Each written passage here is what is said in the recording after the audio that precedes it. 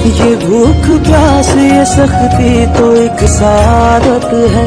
जो वक्त रोज में गुजरे, वही इबादत है। ये मोमिनों का चलन जाहिदों की आदत है।